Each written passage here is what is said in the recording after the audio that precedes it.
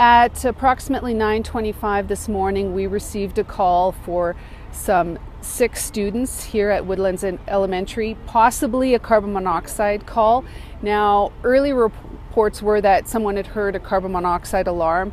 Uh, that is actually not accurate. There was some suspicion it was possibly carbon monoxide. However, we have used several of our monitors, we have hazardous materials here, HazTech, and they could not find any readings of carbon monoxide. So at this point, it's a bit of a mystery. However, the school was immediately evacuated as a safety precaution until we could find out exactly what the source of this illness for these students was. The illness and the children that were assessed by AHS and transported had mild symptoms, and there were no serious injuries as a result of this mysterious issue that's happened here at Woodlands Elementary.